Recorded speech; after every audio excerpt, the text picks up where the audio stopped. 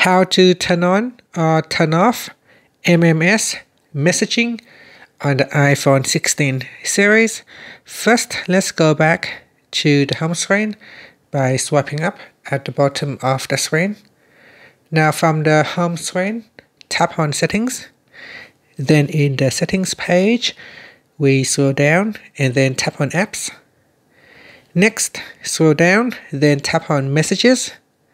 And in here, scroll down, go to the text messaging section and then tap on MMS messaging. Tap on the toggle button to turn it off or switch it on. After that, you can tap on the back key or swipe up to return back to the home screen. Thank you for watching this video.